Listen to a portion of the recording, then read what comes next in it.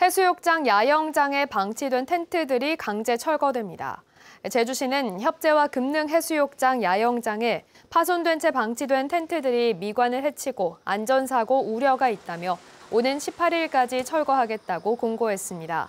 제주시는 지난 2월에도 협재와 금능해수욕장 야영장에서 장기 방치된 텐트 7개를 강제 철거했습니다.